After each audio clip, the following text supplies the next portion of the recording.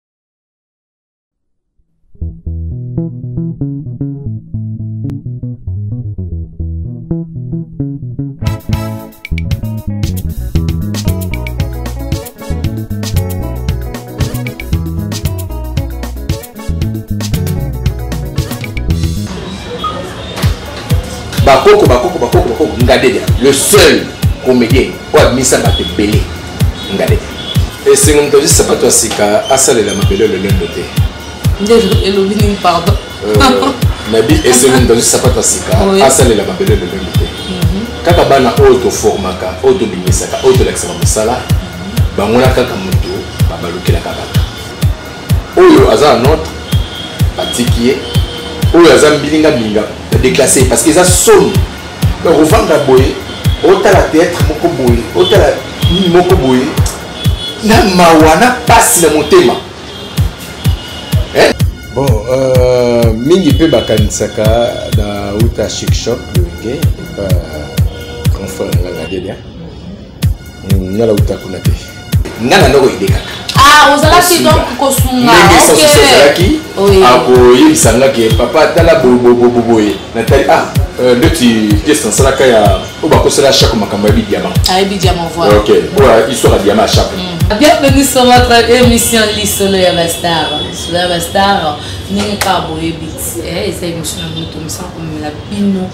Euh, bastar biso ya mboka veut dire baoyo basalaka fierté ya mboka na biso alors euh, voilà je suis comme ça votre homme de servante euh, vanessa tendre sola tigresse mwana mongala mwana bamama alobi mwana na bino leki na bino ndeko na bino oyo amesana kosepelisa bino na banimero ya kitoko mpe toujours na canal ya chaîne na biso meur de meur tv voilà pourquoi pour commencer nalingi napesaka message na baye nyonso tu balingaka vanessa tendresse que bosabone massivement na chaîne na biso mère de mère tv bozalaka dessus te donc jamais bozala dessus parce que avec mère de mère tv nyonso ya gout donc nyonso ya gout ya gout ya gout na kati merci avant na présente invité na biso ya mokolo mwa lelo euh, ye azali bongo artiste monene ya mboka na biso asala ya ebele mpe ayebani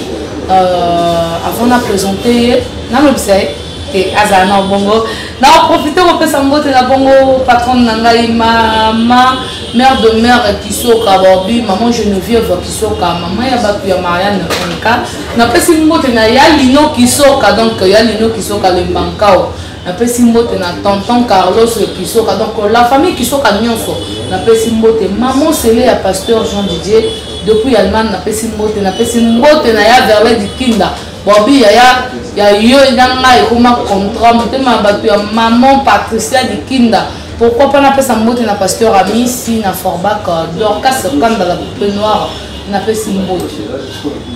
voilà invité na biso ya mokolo mwa lelo nkombo na ye papi Fula. Papi Fula, bonjour.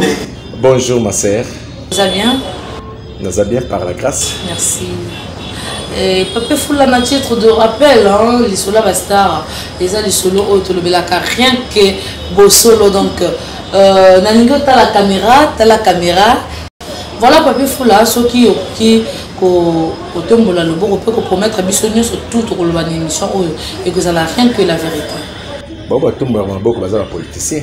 ngai ya politicien te mais voilà eza sikoyo idéologie ya émission na biso donc awa fo to mpo na kobanda fo koprouve biso vraiment kokozala honnête na makambo nyonso tokosola na plateau na biso nakoki kotombola loboko mai nakokosa na ngai bato mais saint esprit okoki kokosa jamais okoki kokoromprene bato ya mokili mais saint esprit bakorompraka yango te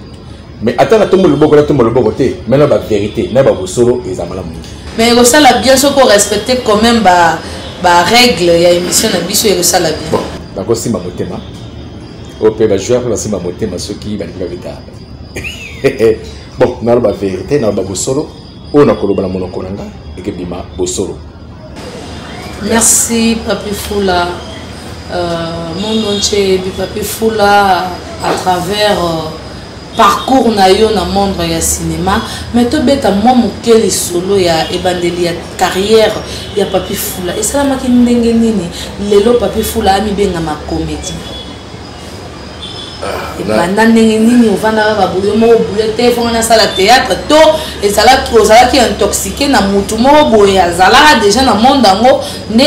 aobligeaka oke il faut orejoindre biso to ezalaki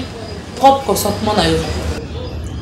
bon euh, mingi mpe bakanisaka na uta chic choc loenge epa euh, grand frère na nga ngadelia hmm, nga nauta kuna te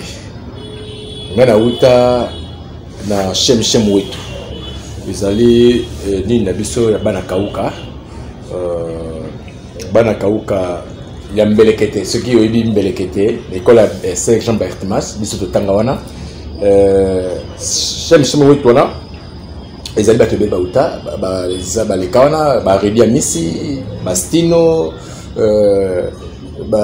papi ochima eh, wana vraiment tozalaki wana solo wana tosala toyobimisa banani babongisa zaire oyo mama yela mobuti yo nde tata yo mobongisi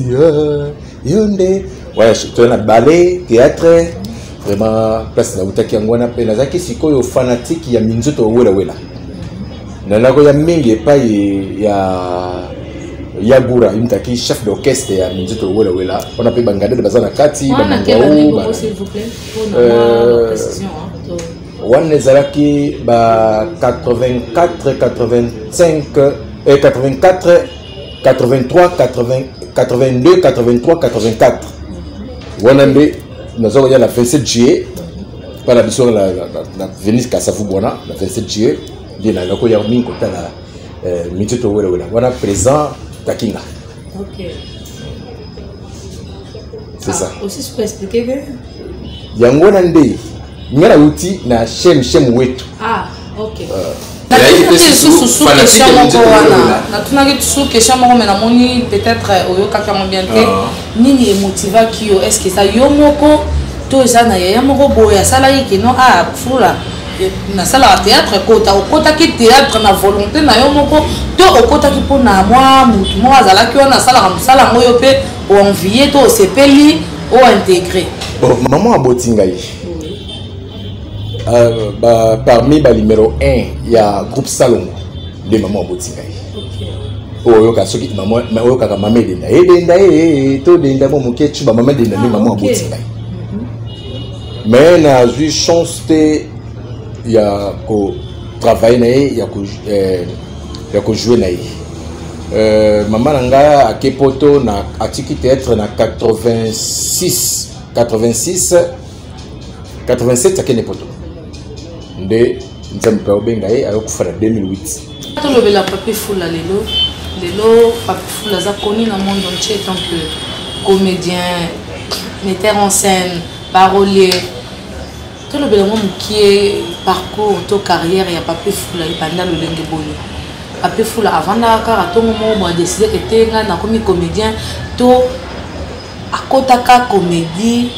na ndenge ya motu moko boye to ndeko moko boye asalaka théâtre ngai nasala théâtre to pape fula asali vraiment théâtre na, na école oh, merci beaucoup euh, na question na yo nga nauti na shem shem wetu eza euh, na ekole na biso tonotanga na serge jean bertmas oyo babengaka mbelekete nde nauti na shem shem wetu ezalaki na ballet musique théâtre nde nasali théâtre na shem shem wetu la tosala ba nani babongisa zaire oyo mama yelo mobutu yo nde tata yo mobongisi totambola na bakwado tokende kwado banzele jour anniversaire na ye nde tozali kosala mwa nini kasi vraiment naza ma forme na shemshem wetu euh, epa v gilbert maître jean hmm, baprof bamaître biso ya ya mbelekete kwa c'est ça kasi mangai ma nazwi mayele wana hmm, wana ezalaki théâtre ya école e olandaka yango mpenza ntina niveau ya bauniversité kobima na baniveau ya baina okoma to osukaka kaka wana esalaka ndenge nini lelo parce que eza ina te wana eza ina te voilà te nalobi ekomaka ndenge nini esukaka ndenge nini après ya leko ya théâtre ya ballet osalaka ndenge nini mpona kose lance na théâtre euh, populaire naye okoma na église ntango mm. nakomi na église euh, epai ya papa na nga soni kafuta euh, nde naye kotya sikoyo mayele na nga na nasala groupe théâtral ya, ya chrétien groupe chrétien okay. nde tobandisi mpo kotravaille jo molex alongwe euh, na panga dadia mhm. baba mongita mpe alongwe panga dadia baye na armée l'éternel nde tosalaki groupe chrétien na gabi kiwaka mpe ayaki tozali groupe chrétien mpo tosala eloko moko ya nini première pièce osalaka ngai nazalaka na poto ya bimi na mai ya kalamu napoto binama ya kala mozali famille moko ya kindoki euh, telema toyokanaka bien te makambo ezali te toyopanzana na groupe yango yo moto ozalaka lokola fonde to président bon ngai nazalaka metteur en scène kaka metteur en scène ok nazalaka metteur en scène kaka ntango euh, toyei kopanzana gabi bon esimbaki te toyokanaki te gabi kiwaka aosala groupe évangéliste nde azwi bafrère bagode badevose banani nde gabi ya obenga nga akoyebisa ngai bon parceke lokola ngai nazala bahistoire makasi ah. nde nazosala histoire nde nano partage yango na gabi kiwaka euh, presque bahistoire ebele euh. na groupe na groupe euh, évangélique hmm. ovandaka mpe meka nanu korelate biso lisolo wana parcours na yo etout na baplace oniati niati osala bien motu nyonso adekouvrpapefula balingakantango siko tokabwani ntango tokabwani mais kovanda groupe évangéliqueévangéliste te non ah. groupe chrétien ah, groupe évangéliste te ah, groupe chrétien ntango groupe chrétien topanzani gabi kiwaka osala groupe évangéliste mhm. ngai nake na radio ntango nakei na radio nakomi kosala baémission ya bolingo ah, émission ya bolingo nalandaki george manda mm. moto ya liboso alobeta basolo bolingo awa na kimia nga moto ya liboso oyo leki nanga mpe marius ye mpe aosala jeli marius akomi oleka na tkm mm. nde mpe jour mosu abengi ngai na tosololi na toseki boloko nyonso kitoko ezalaka bien mpo balanda c'est ça merci merci Erivaki ndenge nini papi fula atika lisusu groupe évangéliste mpe akota na shekshok loyenge ndenge shekshok loyenge nakotaki na groupe évangéliste te ngai na ndoko elekaka ozalaki donc kosungandenge sasusi ozalaki akoyebisa nga ke papa tala boye natali ah euh, ndeti pièce nasalaka ya oyo bakosala chaque makambo ya bidiama ah, ok oyo histoire ya diama ya chaque mm. ezalaki histoire na nga euh, bon esansu sabengi nga papa naza euh, papi fula oyo apeti na nga tala histoire bona sepe nango boboboboyi ndenge mpe gabi kiwaka nosala bamama ministre bapourkoi ça bafaux calcul ebele kaka moto abebisa histoire na nga kaka eza moyembi gauche lala asalaka asalaka kindingu ntango aozwa histoire ya kindingu awangani eza nga azwi tamaki atye na kati ide tamaki tamaki atika makambo ya montere na ye aya opesa kaka ide nga mpe nayebi te leki wala ninga ali azali te na groupe evangeliste leki na nga propre ah, yo oyebisaka ah, mais pièce onde tosala na groupe evangeliste na mona moko mpe moyembe gauche ndenge nini natuna pourkoi osali bo mpo nabetaki mpe moyembe gauche histoire wana asala yango sans permission na nga vraiment nasepelaki te eh, kaka yimi kabebisa histoire yango ake nango na filme banigeria moko akoti na kati ale ebongi yango boyeke bato bapanza eh, filme banigeria mpo topompaka bafilme wana nyonso na télévision mpo ya roger baka mhm. wana leki na nga vraiment tindaki tindaki yango epai na ye adlekisa lekisa yango wale mpo mokili yeyeba ke filme wana eza filme na nigeria voilà papi fula lelo na monde ya théâtre oyebani beaucoup plus oui eda eda ndenge olobi okoma koma me bato beaucoup plus bayebeli yo na chic choc loyenge bato bayebeli yo mingi na chic choc loyenge tobeta nano lisolo ya chic choc loyenge Parce que balobi papier funa na chic choc loyenga azalaki vraiment petit ya vieux. Hein? C'est ce qu'on aura appris que ozalaki vraiment petit ya vieux na chic choc loyenge papier fula ozalaki nde nde ah, comment dirais-je euh, osalaki ndenge nini mpo na omérite mpenza kozala pembeni ya mokonzi tokabona na mwa lisolo wana bon yamba kopesa mboloko mikumba fotela poso makolo na ye Euh, nga vraiment nazalaki vraiment komipesa mingi na ba mpo naza chrétien naza naza mosala ya nzambe naza évangéliste oyo mpe tosalaka oyo meme bacomédien oyo basalaka eza baosala évangélisation baoteya euh, nalingaka nalingama te kokota na babiloko wana vraimen ya baoyo to banobengani bapayen banani apo na eh, apo ya lukanga na ndako ke fula lukela biso histoire moko ya bien oyo eza motu natali baye na problème mpe na ntenga bayebi na problème très sérieux na ntenga babeki soki ba bosali histoire bosali eloko ya malonga te bakodeklasse bino naye kosala histoire moko euh, napesi apo tosala histoire oyo ngai mpe najuaki role principal wana naki papa na papa na videlo videlo akaka ezengi po role oyo videlo asalaka aza mwana na ngai asopa ye moto abanda moto ya liboso na kongo awa asala role ya kizengi sopa mwana na ngai bonga na bimisa nde lelo mwana na ngai mpe so pululu kofa pululu akokende totika biso epe akomaki na role wana deuxième motu abandaki yango vide elongi oyo kisengi wana inde azwaki mwana na nga najokisa jora mwana na nga jokisa baviolaka na internat epai ya jani jani aye kokoma pasteur abongo motema akomi pasteur aye kobala mwana na ye moko jokisa botaka mwana wana ajokisa botaka jani akobala ye abali mwana na ye moko oyo ye aviolaka mama na ye na histoire makasi ezalaka paga ya kosakana te mais yango ti tobandi kopesaka bahistoire na komi kopesaka histoire na komi kopesaka histoire na ndenge euh, le vieux ayaki amoni ayebi savoir faire na nga ndabai ke euh, na shoko azwaki videlo alongwe jokisa alongwe mosela alongwe mbata eh, nani euh, nani tatu motombo alongwe maviokele alongwe moniere alongwe batikali kaka bambolombolo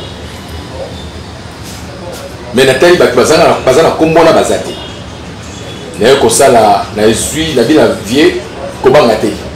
tosala libondeli na ngai na kolongo wana vie abandi maladi sika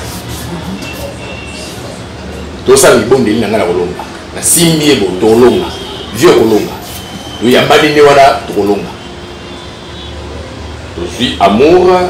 euh, frère na ngai euh, nani robert kaskito ayopesi mhm. role ya major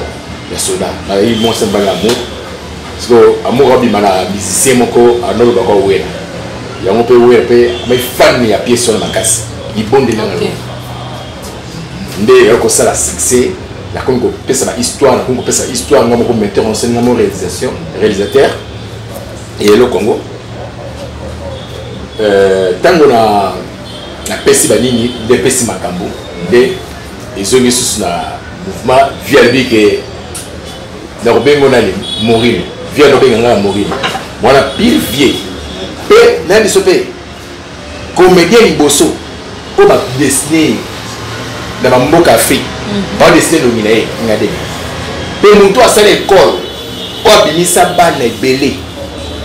ngadede bakoko bakoko bakoko bakoko ngadede le seul comédien oyo abimisa bato ebele ngadede ndenge nautapa na ye te nautapa na ye te nayaki nde kosunga ye ndenge nini yo morinho babenga no lisusu na ekipe ezalaka euh,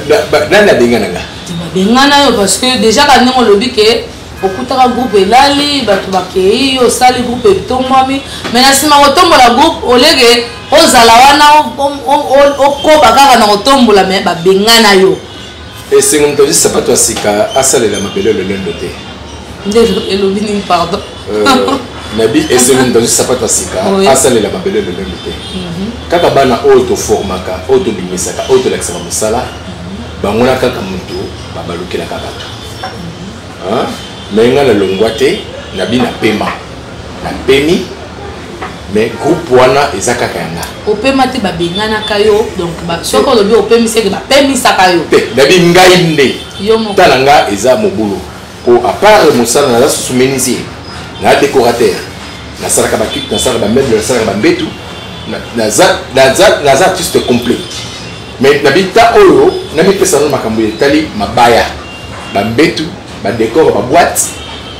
wana na okipa yango nsima omoni ekipe lisolo ba star avant tobanda totinda invitation na invité na biso oyo tokoprogramme mpo na émission tozwaka temps mpenza ya komeka kolandela passé to histoire ya moto to comprendre est ce que biso tozwi lokola information epa nao balobi ke te soki babenganaka yo na chic choc loyenge ezalaki parce que okomaki okomimona yo nde ngadiadia donc ngadiadia akomaki lokola papi fula papi fula akomi ya ngadiadia est ce que c'est vrai bon oh, nakolba eloko moko ngai aza metteur en scène ngadiadia nao joue ta mosusu na batableau aojoue ta mosusu six tableau sept tableau ngai nayaki na stratégie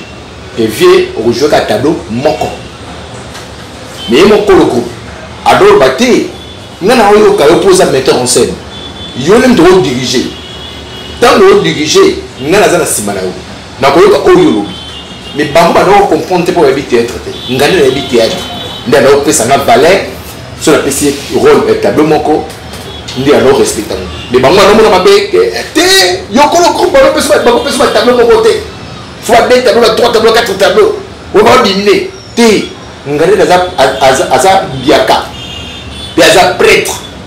mpe na biso ke le seul comédien oyo oyo badestina na, na, na bamire na baafrike ngalele hmm? na bano mpo naza ko kokumisa na ndenge ya nini te ke soki akufa mpo nakumisa ye te ntango azalaki moifu nakumisa ye aya monument aza ma monument na biso ya monde art nini ebenda conflit entre jani faye apolikoi na papi fula mpo baobiki en tout cas courant ezalaka koleka te nini yango ezalaka kobenda moto wana apo ah, aza ndeko na nga frère na nga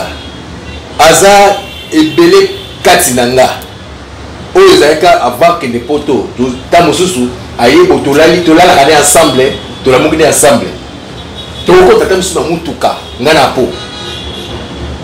aza na mbongo te na poche tozwi tax express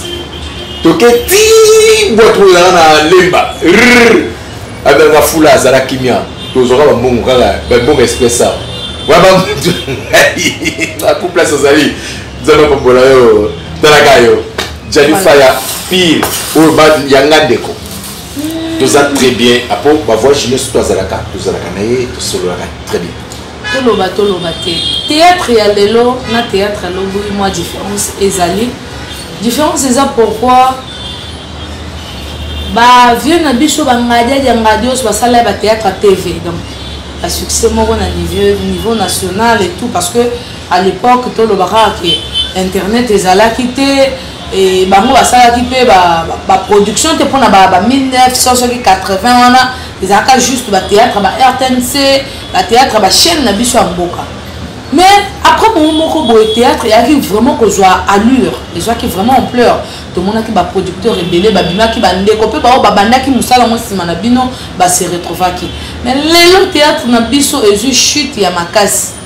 production eza te grâce ya piraterie bamakambo ebele ebele eza alors papi fula ti lelo bozokoba kaka na mosala yango papa ayebisa biso boza koson sortir ndenge nini mpo toyebi ke boza na bafamille boza mpe na bana boza na bandeko batalelaka bino ndenge oyo mokili yango ekomi lelo na monde ya cinéma boza kovivre ndenge nini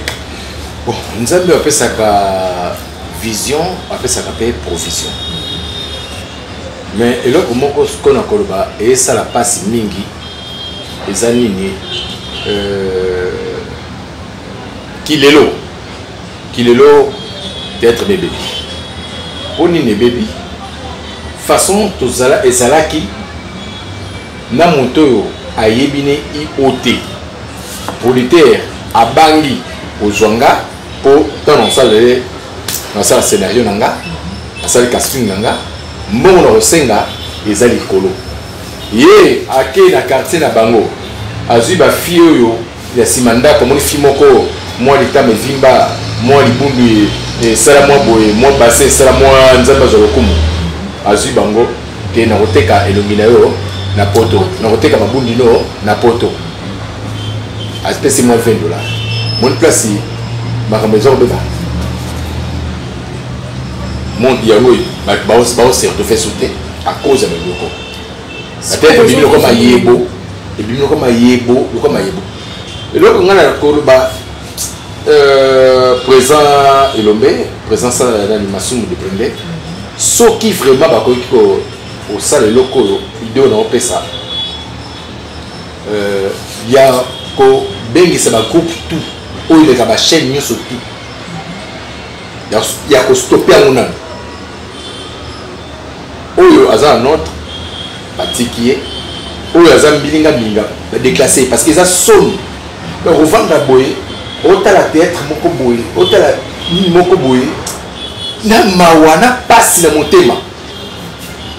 eh, na pasi na bachaine yango mpe baozo bato wana vraiment baozo mpe bato wana bayokaka mawa te balingi biso te baosa biso mabe c'est ça voilà tomeka nanu kokɔta na mozindo ya masolo papi fula relation na yo na mama edenda hein? personne na maman edenda relation na yo na mama edenda ezalaki nini est ce que mama edenda azalaki euh, moko ya bamama oyo olingaka mingi na théâtre to ezalaki moko ya ba maman oyo soki omoni azo jouer papi fula se sentaka l'aise ou comment toyeba relation na yo parce que toyoki ke azalaki vraiment motu oyo ozalaki koporte ya cœur relation na bino na mama edenda oh, napesi mama bomengo mbote place ozali mama mabele alinga bayo ya ngai nalingaka mingi eh, vieux kwedi Ve Masumu Bokrende napesi bino mbote mpasi bozali ve shab nabosa te nabosa yango te hmm, eh, moto ya ngai eh, ya ngai vraiment ndeko eh, mama edenda oyo babengi therese mama therese edenda azali mama aboti ngai ah. mwasi ya liboso mwasi ya liboso na na groupe salongo ah, basi ya yambo ya liboso oyo groupe salongo bazwaki hmm, bato basali mwana nsusu kua eh, so oyebaki mwana nsusu oyo basali ya bamama na biso euh, vraimen nazalaki na souci na joue na mama na nga mais natikaki kozwa chance wana mpe ojeu na mama na nga mama na nga atiki biso awa ake poto na 87 depuis akenda poto aye kokufa na 2008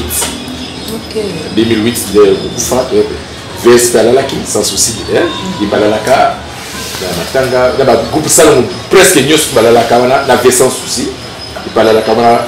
vieux sans souci vraiment azalaka ma vieux wa ngai tono partage ne makambo ebele makambo ebele vraiment na kati me mama edenda mama botika ye merci papa mpona éclaircissement lelo bajeune ya sika donc disons mipepe ya sika baye baye na bosoto na monde na bino ya théâtre lelo tokomi mibali tomoni mibali bakoma basi Ah, omona jeune moko alataka bien etout tozomona kutu misusu bakoma na bango baacteur ba, ba ya film pornographique baza kosala bafilme ba porno balive etout mais ntango bakotala identité babaluki baobi te asalaka théâtre aza comédien basango wana ntango ezongelaka bino etonke bato oyo banyokwami na théâtre babandi mosala ya théâtre mike esalaka bino nini Euh, eza pasi na motema euh, eza soni pasi mpe mawa po ezalaki mpe mona osala na émission na nga eza pasi mpe mawa kati na mitema na ndenge soki bokebi yesu yoka po bato bayebi lisolo ya kala wana eh, papi fula yoyo euh, eza pasi vraiment na motema pasi ma na motema euh, koyoka biloko ya boye komona biloko ya boye eza mpasi parce que euh, tokokamwa te nyonso eza makambo ya kala eloko ya sika eza te Oui, mais la kala na kala quand même ezalaki bon. Ah OK, eza biblique oui. Euh, po yeba ngo ke tokomi na monde na tango ya suka. Tango ya suka komona makambo oyo oyo oyo bandelo ba na Bible, oyo bana mona ngo siko. Yango moni boye. eloko nakopesa kaka conseil kaka tomilengela malamu mpo toyebi mokolo te toyebi ekongonga te toyamba yesu masiya basigne oyo ekomi kolakisa ke azoya aza na nzela faut kochange koyamba yesu masiya eza malamu komona bilenge oyo babimi lelo lelo bazwa bavie omona mwa elenge moko bo asali ne mwa inane na théâtre mwa car mwa nini mais soki totali compare na bino baancien ya théâtre bozo kufa pauvre soki obeli mwa linu boleki e gouvernement bosalisa ngai soki obeli mwa motu mpasi boye fo eleka na bajournal seke teyata yango bosalaka yango na posa kaka ya tv bayemba mona kaka ke noa fula asalaka te asalaka théâtre pourquoi boye boso organisaka te na na mwa ba mike mike kozwaka wana kokoma nazongi yo kaka na eloko oyo olobi mhm. oyo olobi ke euh, baye bakoma na jeep basali une année akoma na jeep akoma na mwa nini boye mhm. bon omoni kozala presse na vie eza malamu te na eloko nyonso tu nzambe nde moto atombolaka nzambe moto asalaka ke lelo ozala bo moto moto na periode na ye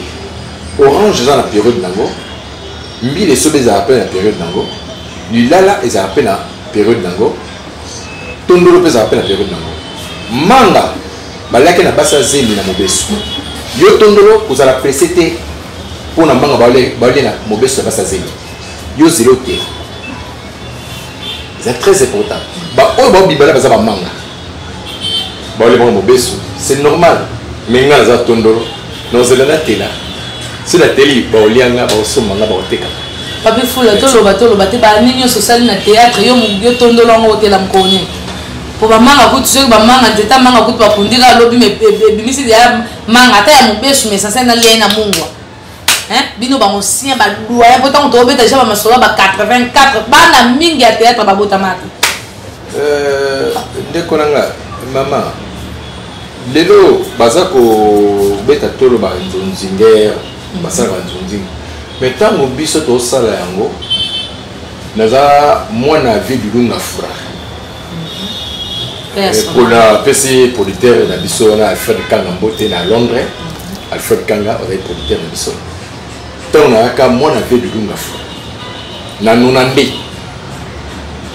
naosala nzonzingi na nona nde nona nte nona nde nayebi te soki bango bazalaka wapi oyo naotekama deja na londres bana londres bayebi yango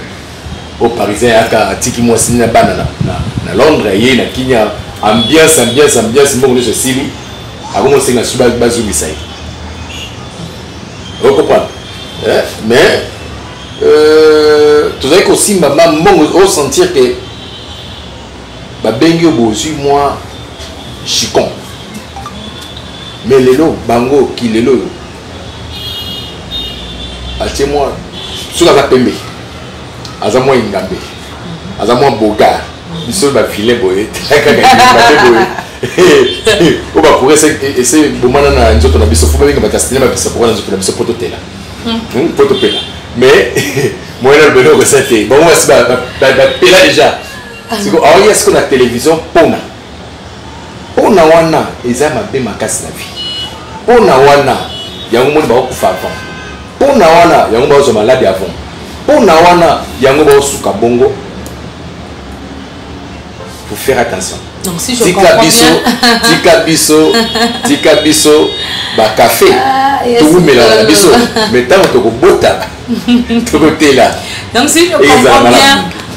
ba ba maya sika baoya pona basi ya poto ba maya sika bazoya pona bango nde bazokoma ba pede ba maya sika bazoya merci babe fula na seki lisusu vraiment présence na yo na émission je pense bien que sepelisi mare de mare kisoka euh, parce que aza moko ya bafane na yo soki peut-être oyebaka te na signale yo aza moko ya bafane na yo alingako mpe mingi donc euh, voilà Je pense bien que présence na yo na émission ya lelo esepelisi ye bisika azali na France esali ye bien. Alors Pape Foula, euh, na moni que tokomi peut-être kochite, j'ai une dernière question à te poser oyo ekosala ke ngai na yo mpenza tokobana kokabana. Pape Foula, euh, balandi émission lisolo ya bastar badécouvrir nini yango Pape Foula alingaka te. oyo soki moto nyonso avandi na papi fula ayeba na koevite ke te un jour soki navandi na ye papi fula alingaka nasala ye boye te nini yango ya madolingaka te eloko olingi basala te osala kolinga te mpe esalaka mpasi mpe bolinga mpe esalaka mpasi nalingaka te eh, moto abebisa flansone te ah, vraiment nalingaka mambusoba te meme na mosala bayebi nga ntango nadirijaka tournage nazalaka ma dure mosusu akatelete na ogangela ye mosusu amona neti na ominimize ye mais ezalaka nde façon nanga nazalaka na mosala nazalaka nalingaka blake te eh, dictateur te reko mabe nalingaka nazalaka vraiment euh, street na likambo na osala likambo ozosala ok alors mauvais souvenir ya papi fula na parcours na ye artistique donc parlons de parce que awa nayambi autant que comédien malgré que tu as plusieurs casquettes mais awa tozolobela beaucoup plus théâtre donc papi fula aza artiste comédien alors nini yango papi fula alingaka te sur le plan artistique mauvais souvenir na yo uh -huh.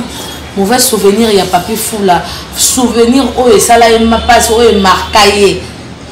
na monde ya, ya théâtre bon mauvais souvenir na nga euh, ezali papa wemba papa wemba euh, eza deux papa wemba na mama nga euh, mokolo oyo tozalaki na papa wemba na matanga ya bekoko la papa ya bekoko akufaki papa na biso na inza bongo aza mona molokai ya solo mpo molokai ebandi na masimanima oswe lokolama kanda kanda inza place nga na botami okay. ah, okay. lama mwana moloka ya solo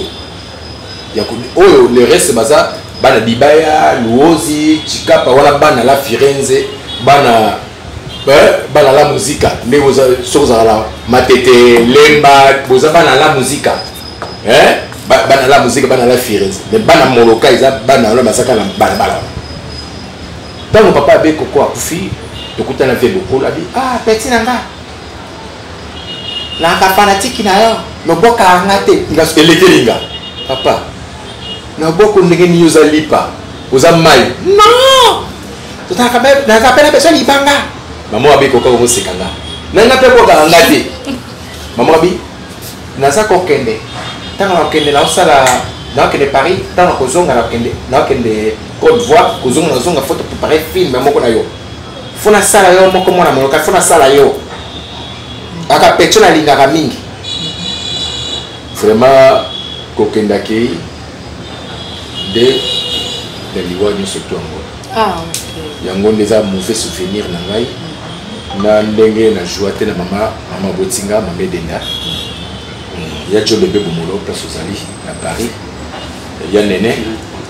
esi bino nkombo te yagola ya motemona eh, vraiment bato basa bakontribuaka makasi mpo ebemba mama eya lokola yagola ya motemona te te ah, mpo ebemba mama ekoma awa na kimia awa pardon tozonga nanu mwa moke ekimaki nga mwa motuna oyo ekimaki nga moke ntango obandaka théâtre mama azalaki vraiment parce que ye azalaki déjà na monde yango ayebaki déjà mwa certaine réalité oyo ezalaka na monde yango est ce que mama asepelaka na ndenge orejoindre ye na monde yango andimaka yango facilement ke no mwana mpe alanda ngai na nzela yango to osalaka yango na motu makasi ka bon ye andaki ma kokipenga te hmm. andaki kipenga vraiment te ntango euh, bakoya bakoyala bamama monoko mama monoko na bi oyebi te oyebi ye te hmm. akufa mama monoko baoya na mososo epa na biso na limete na première yo na mososo ntango baoya wana vraiment euh, nazalaki bakosepela kaka na bango ngai wana na bale nakokoma kaka toza bana bana primaire deuxième première primaire deuxième primaire troisième primaire quatrième primaire kaka naza na bale na bale eh, na ekole ya ekole na biso ezalaki ya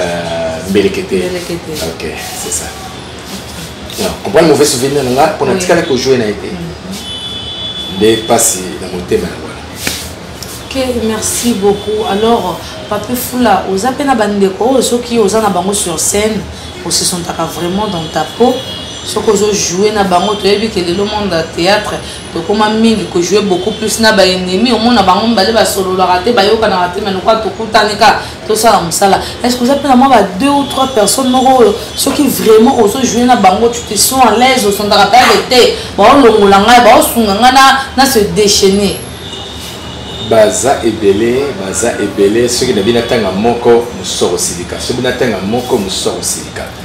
baza ebele baoyo nakoki kotanga vraiment euh, ntango na jouaka na vie dunga fura nanao sentirma à l'aise ntango nanao joue susu na euh, dali kitambala nanao joue vraiment naza à l'aise nao se sentir mpa naza à l'aise euh, nani chiko pululu naleka à l'aise vraiment nani tatu kalombo tatu kalombo nayaki mpe à l'aise po ngai nde nayaki numéro 1 ya publicité ya fille de sala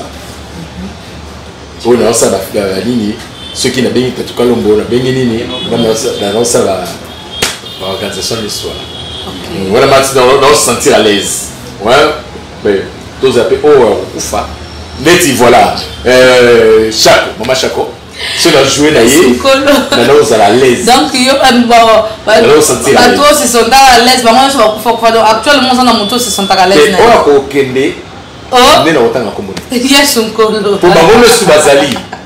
mais moyen atanga kombo moko sikoyo eza te mpo momuso osilika me mokolo oyo akozala su te mm. nde natanga kombo nini ya mokolo toza so na émission nzambe asu Voilà, merci. Tout va bien de Togo. C'est là qui de partout. Hein. Biscane, c'est tout. Vous allez, na numéro, na bicho, ya lelo, na lisolo, ya bastar. Wana bongo, to komi na souka ya émission, na bicho. Alors, papi fou là, to yip koza parolier. oza parolier oza metteur en scène oza oza garnisseur oza peintre oza nyonso na papi fula mwa liloba mpe basalamu na baoyo nyonso tu balingaka papi fula de partout ah yo olukelanga makambo natanga mpe baoyo oh. baoyo bakufa kaka oh. comment ça omoni na monde ya théâtre osila na yo mpo oza na moto ya obwaka te mais eh, ah. mais ye bango par rapport à par rapport oui. cours de grand ngai mna odirige yango atake metteur en scène réalisateur euh, tozali ebakata azali euh, jokisa azali robert kaskito azali los azali nata malalaise azali ange konono azali sara mosau azali mama shako autotika biso ye mpe azali azalaki azalaki mhm. azala aza ah bas œuvres bas œuvres ezali ok ba œuvre na ye ezali eh, c'est bon azali vraiment po azali ok comprendre moselu azali vraiment euh, eza histoire moko makasi bientôt bokolanda yango na bachaîne na chaîne moko ya monene mpe bientôt bolanda mpe na chaîne moko ya libanda ya monene okay. hein, euh, soki ba baétranger bazwi grâce ya koleka na chaîne wana biso mpe kala mingi te tokotaka na chaîne wana ah. ah, bientôt bientôt bientôt je pense bien que bientôt eh, tokosepela lisusu napesa kaka grand frère na nga mhm. aza na paris euh, ya jobebe kobolo euh, ya nene napeso mbo te napesi mpe leki na nga oyo alandi nga ye mpe azala mpe artiste monene na groupe évangéliste Ali. Ah bon. Mm. Oh. Ali, Ali, na groupe évangéliste Ali, okay. Asso na Canada. Okay. Euh, na, na mère de mère. Mm -hmm. Makisok. na pese mpe mbote esika ozali vraiment nzambe abakisa susa minene kati na yo okoli matuta euh, sende palaya dada jasonama napesi mpe euh, abetine ya betine bavuka yo mbote esika ozali euh, nabosani te ndrosha bavuka yo hmm, bango klo ye aza na états-unis nabosani te mimi euh, zeya na, na suki wana merci Merci beaucoup. Merci beaucoup. Merci beaucoup, Pape Foula. Merci une fois de plus pour ta présence. Hein. Euh, présence na Zala qui succès vraiment na émission du Soula Pastar. Et salut biso bien vraiment, na ndenge honoré invitation na biso mokolo lelo. Pour ça je, je tiens à te remercier vraiment salut bien. Et merci encore na ba oyo surtout ba pesa biso confiance. na nzela ya chaîne na biso meur de meur tv merci à stéphane manu lupembe bobi stéphane manu lupembe depuis la suisse napesi mbote na léon mboma napesi mbote na brondalo mbayo napesi mbote lisusu na ya pati lorenzo champagnard napesi mbote na bidas itela bobi mwana mongala euh, bidas itela donc euh, tozaka wana ensemble elongo je salue uve kitoko mon confrère ndeko na nga oyo nalingaka mingi oyo asungaka nga na makambo ebele napesi mbote na papa dani mafula qui était là pour moi hein? na assistance ya réalisation vraiment merci baobi biso na bino bongo na prochain numéro bye bye bye